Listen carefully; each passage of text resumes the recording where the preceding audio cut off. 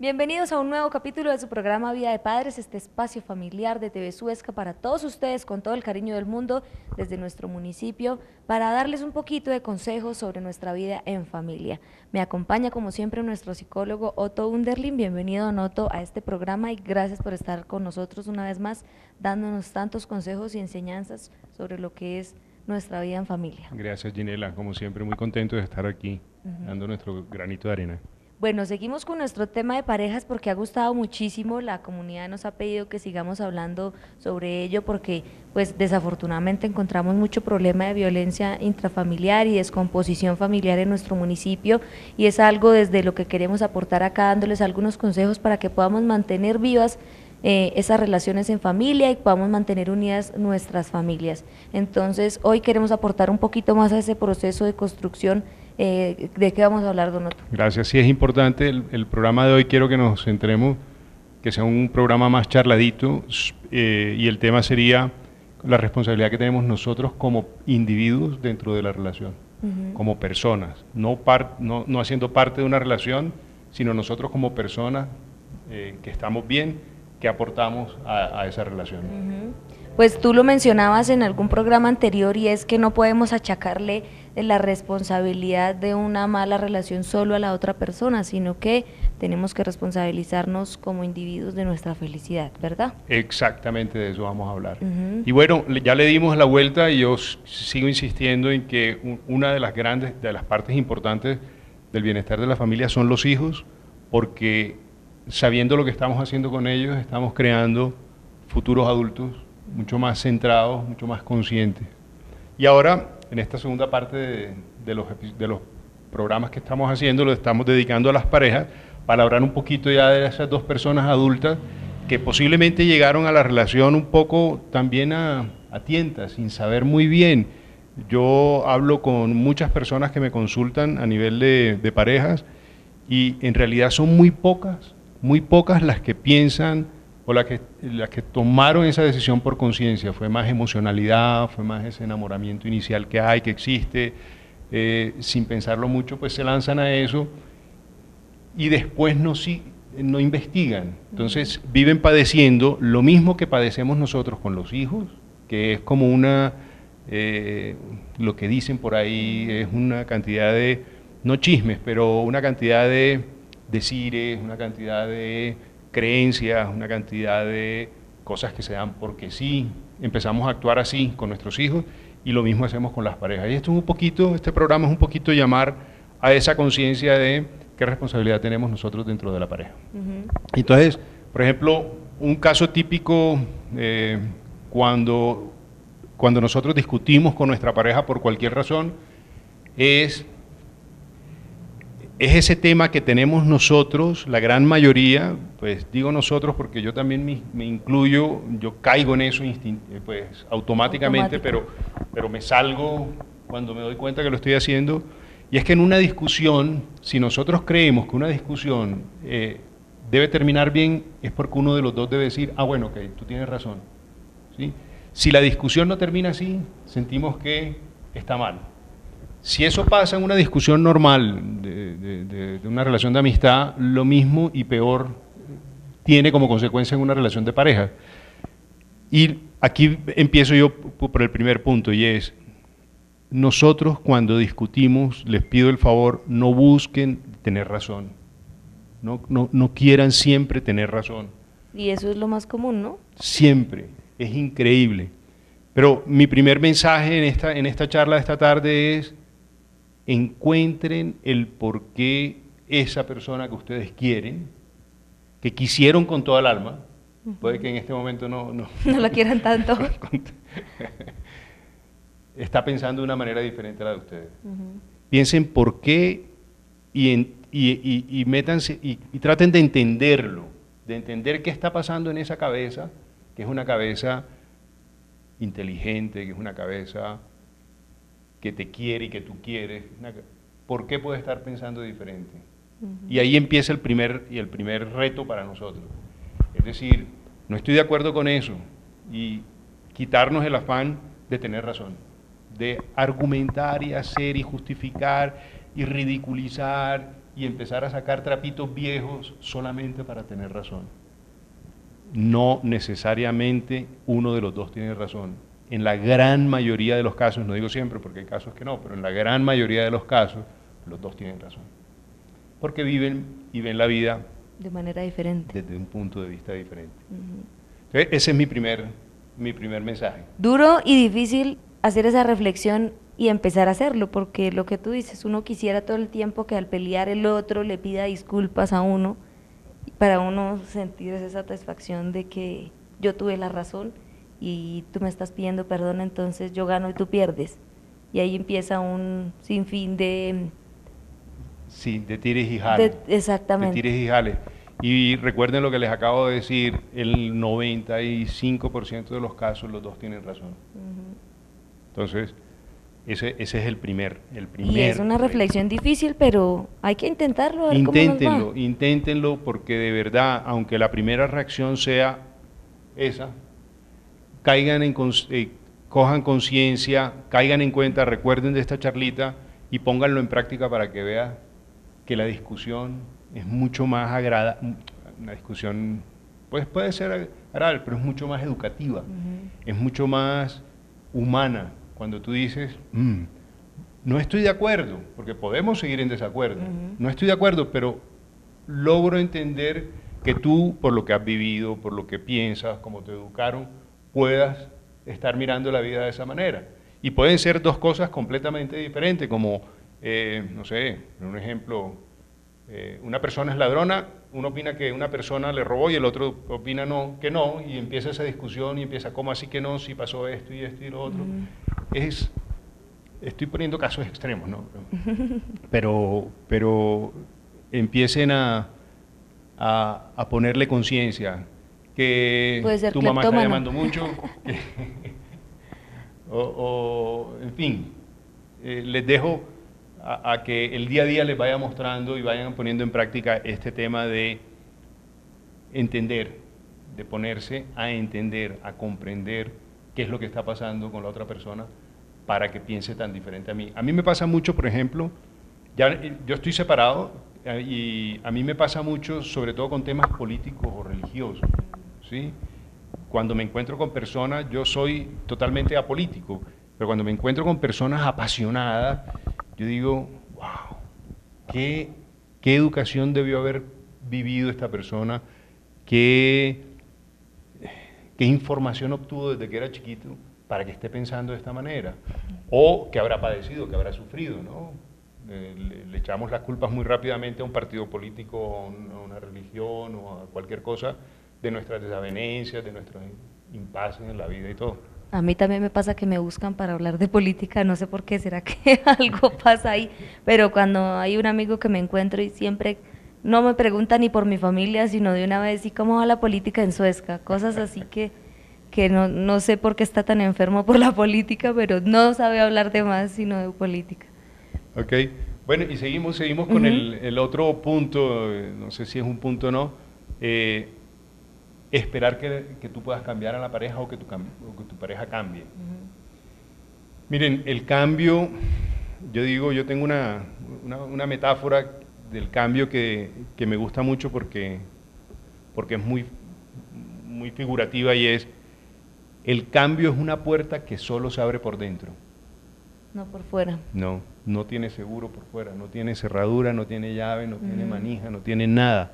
Es decir, una persona cambia porque decide cambiar.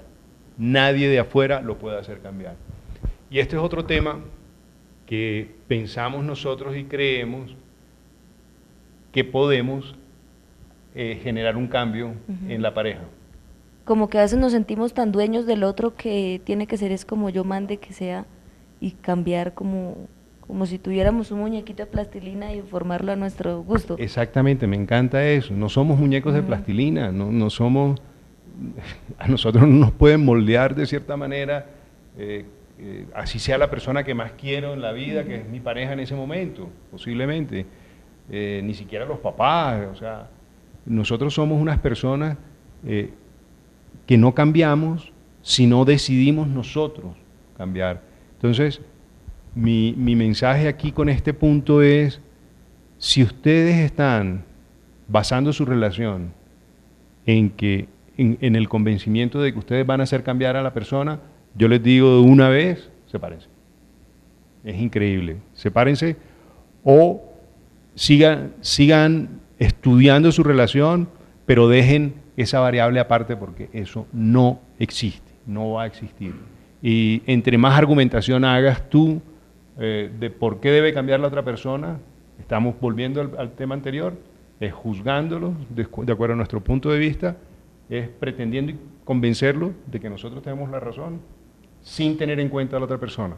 Cuando ustedes tratan de hacer eso, la, la, puerta se, se, cierra más.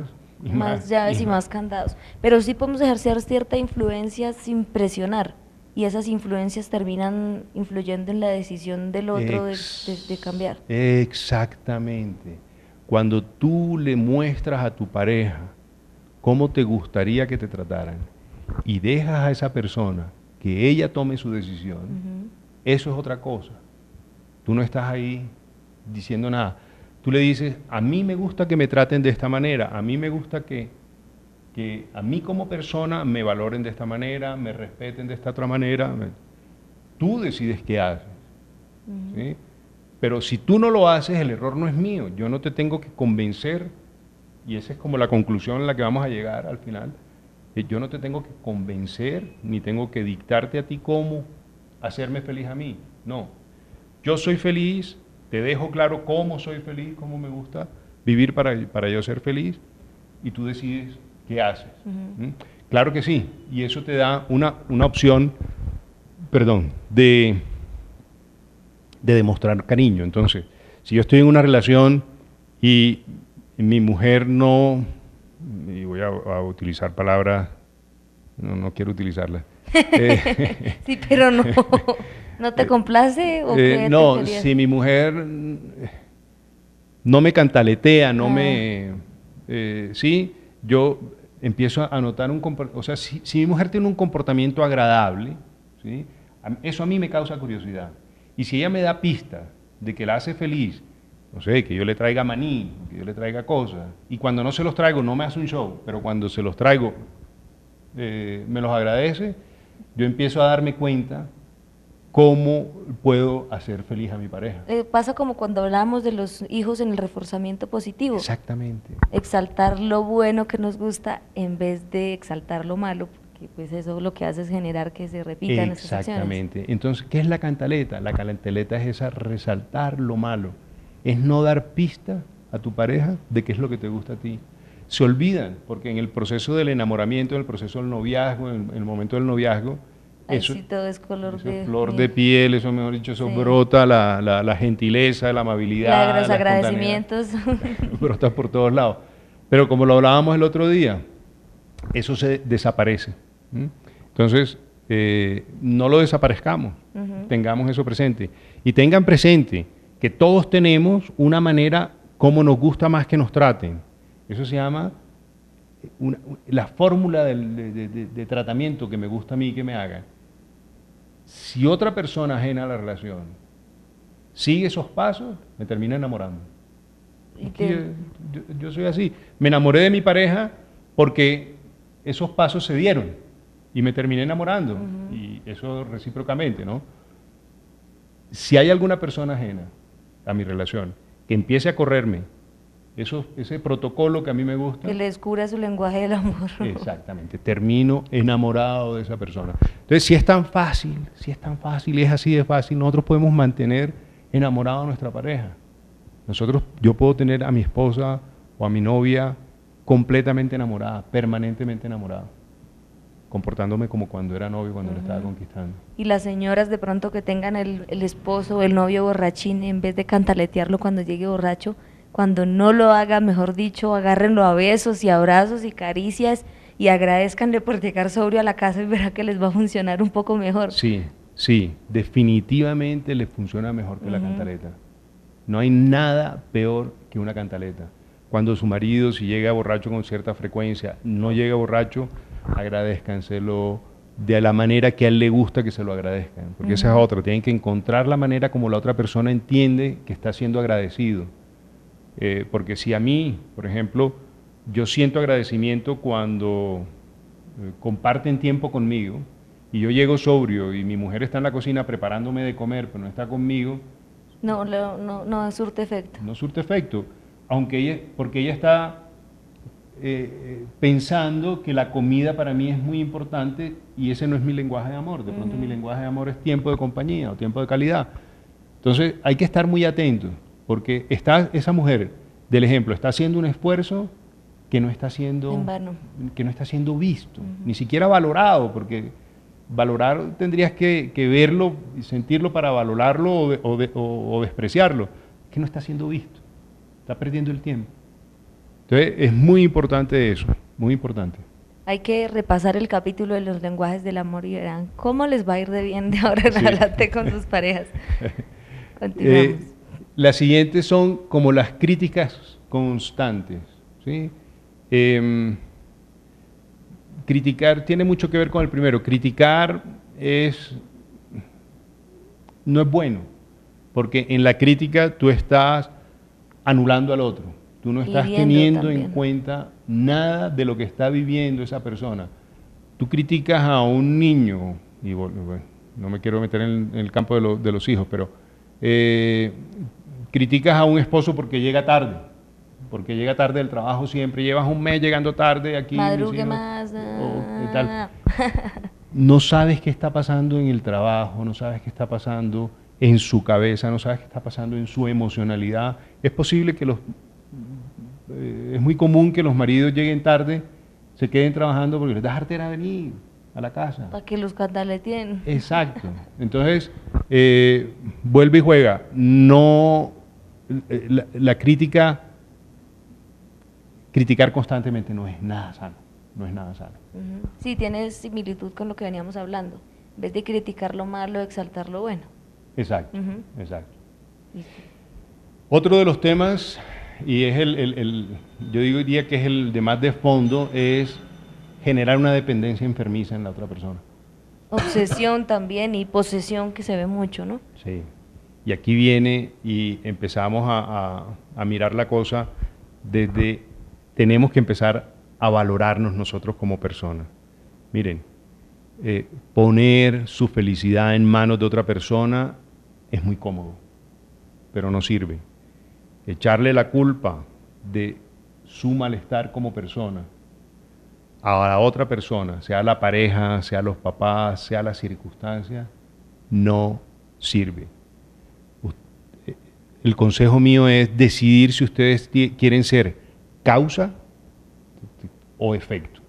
Ustedes quieren ser protagonistas de su vida o quieren ser efecto de lo que nos pasa alrededor, porque es que está haciendo mucho calor, es que el sol, es que el campo, es que no hay agua, es que cuando llueve, es que, hay mucha agua, es que, y cuando llueve más o menos, es que tenemos que salir, ya no sabemos si salir con paraguas o salir con, con ropa, eh, en fin.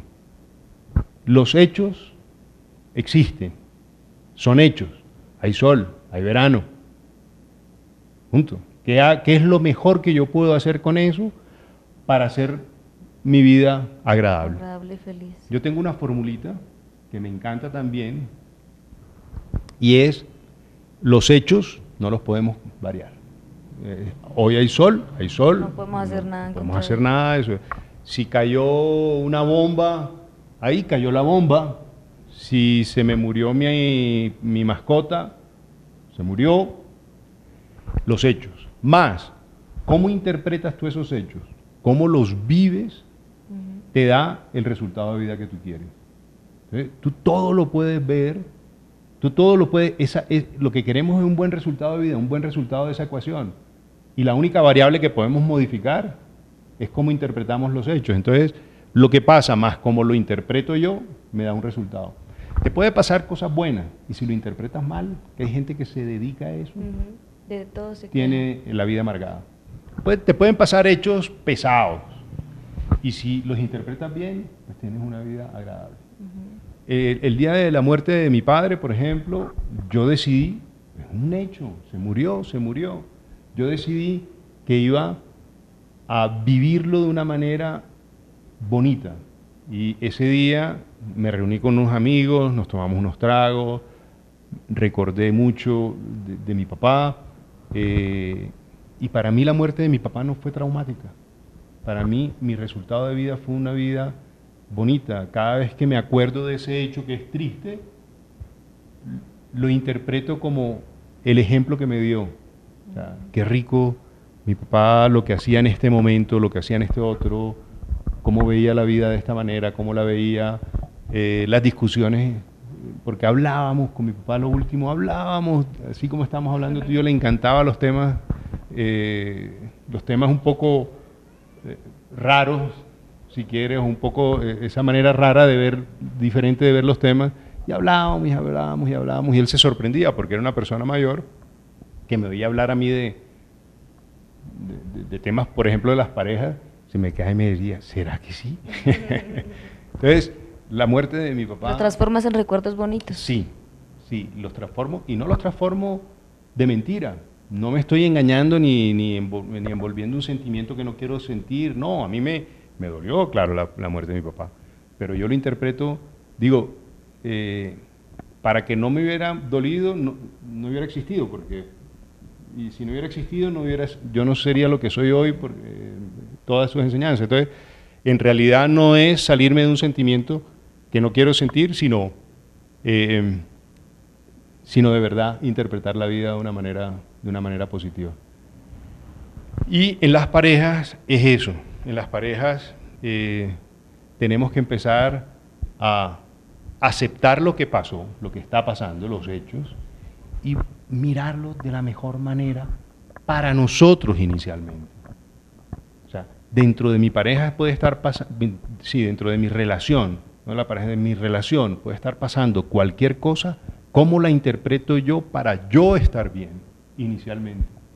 Si yo estoy bien, yo reflejo un bienestar en la pareja y eso, y eso lo va, perdón, y eso lo va a sentir la otra persona. ¿no? Entonces, eh, ahorita empezamos como a tocar temas, a, tocar ejemplos y cosas así. Y, eh, y por último, me, gustaría como tocar el tema de la idealización, esa idealización que tenemos cuando empezamos, y sobre todo aquí le hablo a, a, los jóvenes que todavía no han, no han tenido pareja o a las parejas reciente que todavía tienen esa idealización y a las parejas adultas que ya se dieron cuenta que no pueden hacer nada contra y que no es un paquete chileno el paquete chileno fue el que nos inventamos nosotros y el que nos están inventando todas las películas. Eh, y, y es nosotros no vivimos con príncipes ni con princesas. Nosotros vivimos con seres humanos. Seres humanos que tienen días buenos, seres humanos que tienen días malos, seres humanos que tienen eh, emociones y seres humanos que no son perfectos. Entonces, esa, esa idealización de em, lo que vemos en las películas rosas, por lo general las películas americanas terminan siempre en un rollo de un final feliz y ya no solo los cuentos infantiles, ¿no? sino ya estos son ya novelas eh, películas de, de, fondo que te terminan diciendo, no, pero es que entonces mi pareja está mal porque no me, no me da besos como el otro. O, no tiene los músculos, o el 90, 60, 90. Exacto. No es rubio, no tiene los ojos verdes. no tiene la plata, o no tiene el no carro. Tiene carro. No tiene vacaciones. no tiene nada. Y en realidad esa idealización no sirve sino para estropear las cosas. Miren, yo les digo algo, y es, eh, si el dinero fuera eh, garantía de felicidad, no habría suicidios, no habría Michael Jackson eh, abusando de, no, de, su, de drogas y de cosas, no habría, eh, la gente rica viviría feliz. Y yo conozco mucha, mucha gente infeliz que lo único que tiene es plata. Entonces, digamos que esa idealización tenemos que aterrizarla. Y no poner a, nuestro, a nuestra pareja a competir con, con ningún Con ningún actor de televisión, ni de novela, ni Príncipe Azul, ni... Sí, entonces ahí vuelve. Y todo, todo lo que hemos hablado te lleva a que tú tienes que vivir la vida de una manera en la que tú tomas las riendas de tu vida. Y empezamos con, ah, no sé, echemos globitos así de, situaciones. Por ejemplo, eh, eh, eh, te, preparé, te preparé de comer. La, señora le preparó de comer al esposo y el esposo no llegó. O llegó y había almorzado o comido con los amigos. Y se quedó la comidita servidita. Ok. ¿Eso te haría infeliz a ti? ¿Te haría coger rabia de alguna manera? Sí. Ok. Te invito a que no te dejes coger rabia. por eso. Y te voy a, a decir el por qué. Tú haces la comida porque te gusta. Tú haces la comida porque es una labor que tú te has tomado para ti. Tú haces la comida no para que te lo agradezcan. Tú debes hacer las cosas que a ti te llenan de alguna manera. Incluso hacer oficio en la casa. Todo el mundo dice, ah, que hacer oficio en la casa. No, hacer oficio en la casa también llena. Puede ser bonito, si claro, entre dos. Claro, porque eh, a mí me toca hacer oficio en la casa, por ejemplo, y me parece bonito eh, tener la casa después limpia. Sí, así no me lo agradezca nadie. A mí nadie tiene para agradecérmelo porque vivo solo, pero...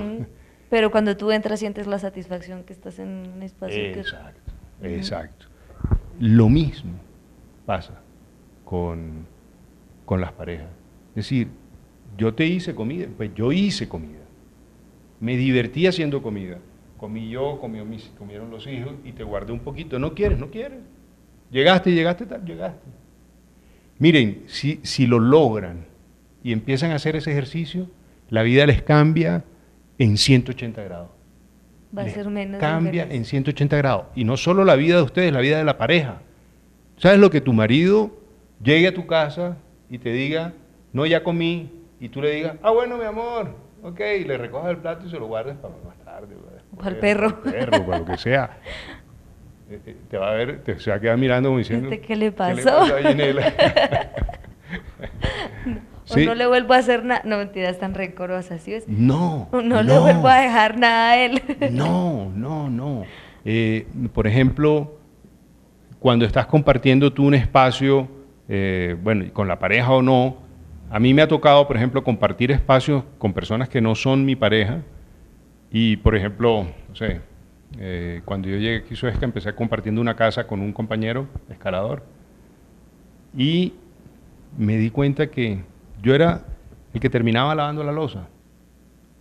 Pero yo no, yo nunca lavé la losa de un día esperando a que la otra persona lavara la losa al, otro, día. Yo decía, para mis adentros, al principio ese era, ese era el trabajo, e, esa era mi, mi reflexión, ¿no? Yo voy a lavar mi plato. Si son dos platos, a mí no me importa. Yo no estoy haciéndolo para que él ni me lo agradezca, ni, ni, ni me lo ni lo haga después, no. Yo lo hago porque yo quiero tener Limpio la, la limpia. Y, y, él empezaba, por ejemplo, a cocinar. No era ni una compensación, sino... Eh, y ahí empezó la cosa como a, fluir de una manera. Nunca tuvimos, y estuvimos compartiendo esa casa durante año y medio, nunca tuvimos un pero. Nunca de, no, es que yo lavé la losa ayer.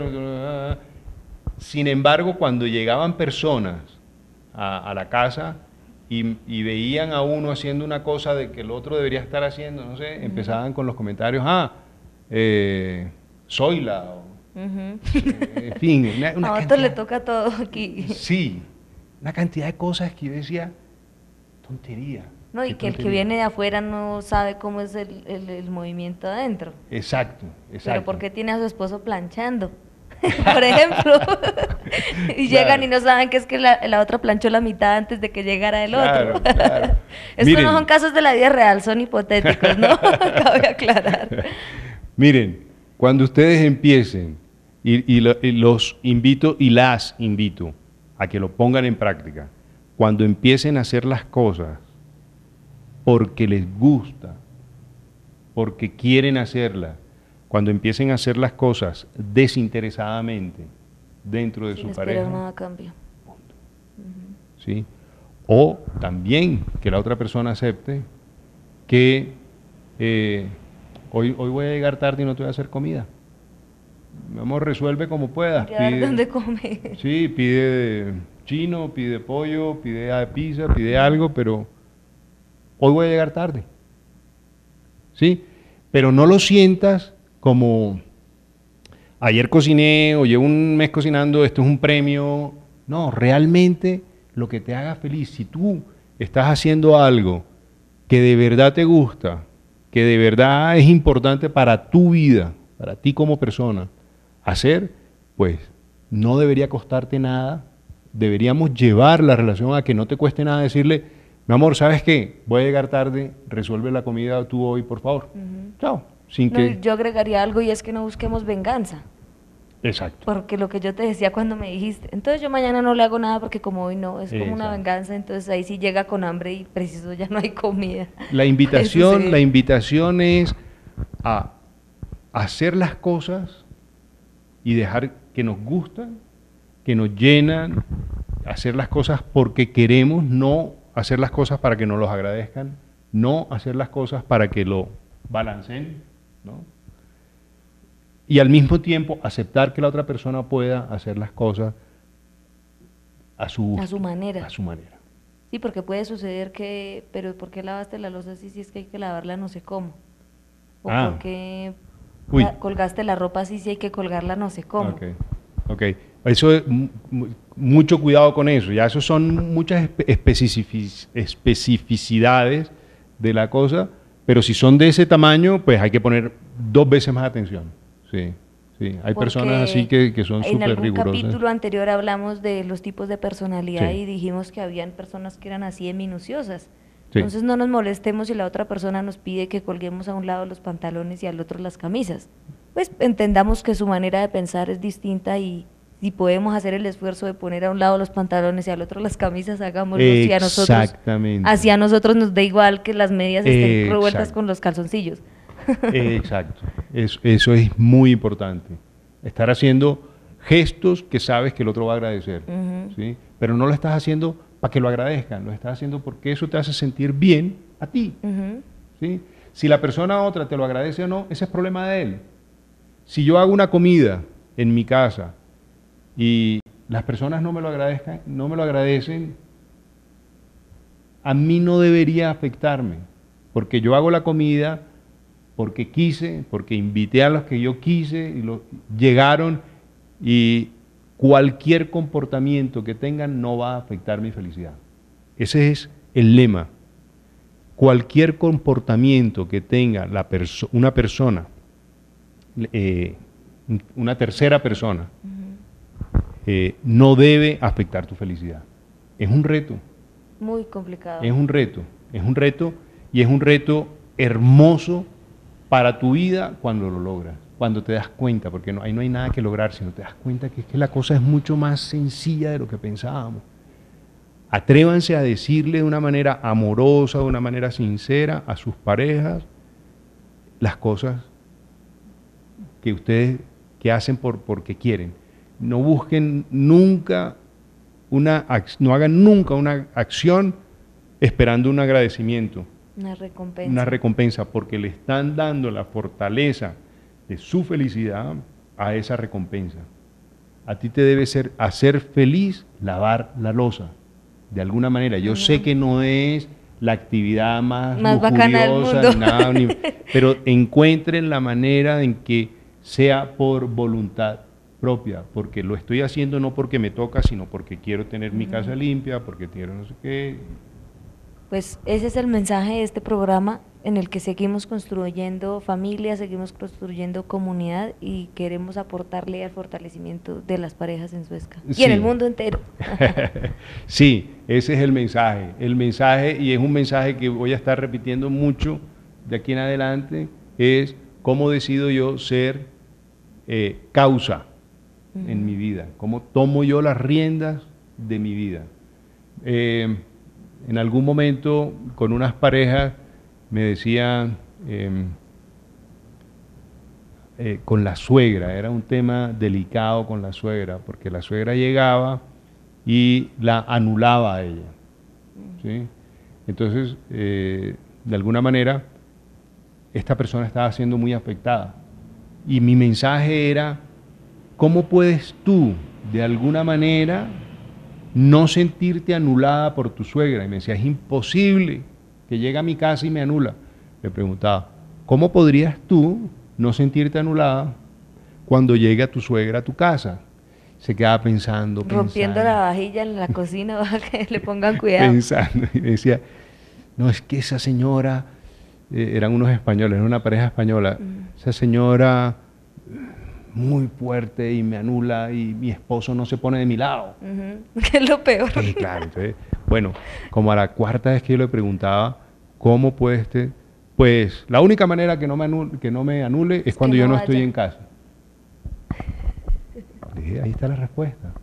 Cuando tu suegra venga, vete tú. y empezó a hacerlo y me dice Otto, es increíble. Es increíble porque al principio me iba, cada vez que veía yo encontraba alguna disculpa, o ya lo sabíamos, mi esposo y yo lo sabíamos, que yo me iba a ir cuando la mamá llegara. Pero el tener esa opción ya me empezó a dar más fortaleza de quedarme y me dice, hoy entiendo a mi suegra. Seis meses después me decía, pues hoy entiendo a mi suegra. Y no es que seamos las mejores amigas, pero ya aprovecho y entonces la, pongo a que me cocine, a que me enseñe recetas, porque cocina muy rico, a que me enseñe cosas y le saco un provecho diferente. Pero si, yo no, si tú no me hubieras dado esa fórmula de poderme escapar de eso que yo sentía como impositivo, si yo no hubiera podido, eh, si no hubiera encontrado esa respuesta, que la tuvo ella y no la tuve, sino esa respuesta de cuando esté ella yo me voy, y eso me da libertad con su hijo que haga lo que quiera, yo me voy, me tomo con mis amigas un té o un café o lo que fuese. Eh, quería ponerle un ejemplo, eh, ese ejemplo porque es un ejemplo muy fuerte. Era una cosa impresionante para esta señora, le estaba afectando muchísimo en su relación porque ella le exigía al marido que tomara partido entre ella y la mamá. o la mamá.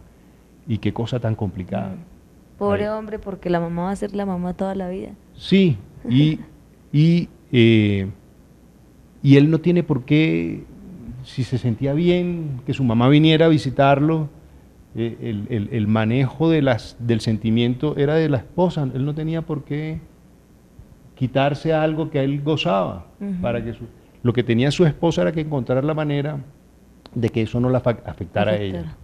Él no podía solucionarle a ella esa situación. Eh, es un ejemplo para que tengan en cuenta, es un ejemplo no para que lo pongan igualito y entonces ahora... Ahora cuando, llegue la suegra me voy. todas las suegras de Suezca dicen, ay, pero mi yerno... Mi, mi nuera se fue de la casa, quién sabe qué pasaría.